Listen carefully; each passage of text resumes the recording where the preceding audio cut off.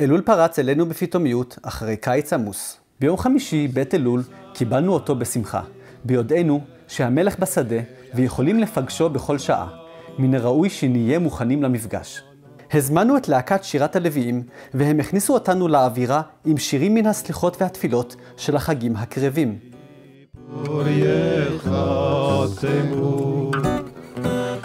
כ-150 איש מהאזור, גוש עציון, אפרת, קריית ארבע, חברון וירושלים, הגיעו לשמורה ונהנו משירים וקולות שחדרו אל הנשמה.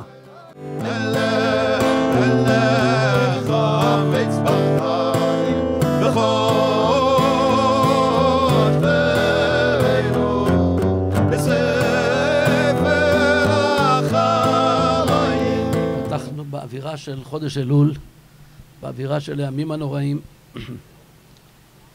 ואין לך מקום יותר מתאים לדבר על תשובה. כפי שהרב קוק אומר, שכל בניין בארץ, כל מהלך בארץ, זה תשובת הארץ. עברנו קיץ לא פשוט, חטיפת הנערים, המלחמה, האבדות של חיילינו היקרים, ובעקבות כל אלה ראינו את העם שלנו קם כלביא. במלוא תפארתו והדרו, מאוחד, עם מסירות נפש אינסופית, ערבות הדדית מרגשת עד דמעות, עם כוח נתינה אדיר.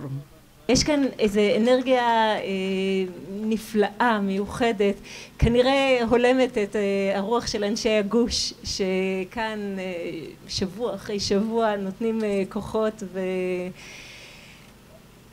אנחנו רוצים שמעז יצא מתוק, והמקום הזה כל כך מתוק וכל כך מתאים לילדים החמודים שלנו, שאני בטוחה, אה, זה אחד הדברים ש... לא מבינה באיך נותנים נחת למישהו ששינה צורה, אבל פה אה, במקום שהם מרגישים כל כך בבית, בגוש, אה, צומחת גבעה נפלאה, ובעזרת השם עוד תתפתח. ראינו את הנוער הנפלא שבא להתנדב מכל הארץ, ובמיוחד הנוער הנפלא של יישובי גוש עציון. ראינו מרצים ומעבירי סדנאות נותנים את כישרונותיהם. ראינו את המועצה, מועצת גוש עציון, ראשיה, דודי פרל ומשה סביל, מנהלי המחלקות, העובדים הנפלאים, שעוזרים לנו בכל שעות היום והלילה. ראינו את צה"ל, ובראשו המח"ט ועוזריו, מתגייס לשמירה על השמורה ועל יושביה. ראינו את כל האנשים הטובים הבאים לבקר, להשלים מניינים, להתפלל בשבתות.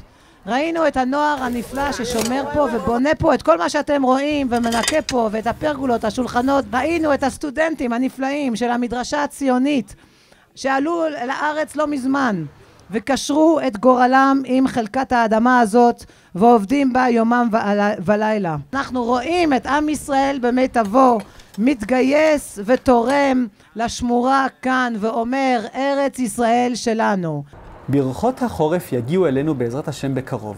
יחד עם גשמי הברכה יגיע גם הקושי להתמודד עם הקור בשמורה.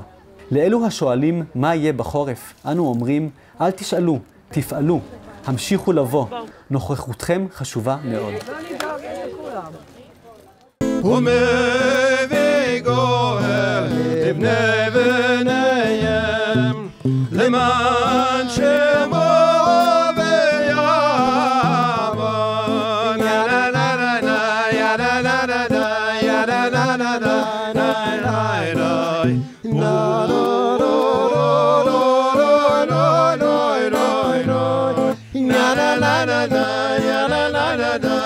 da da da